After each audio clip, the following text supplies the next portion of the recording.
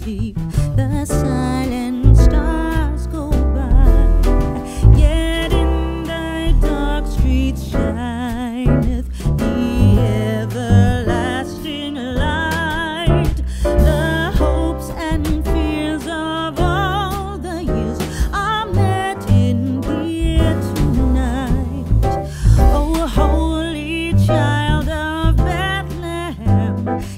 tender to us.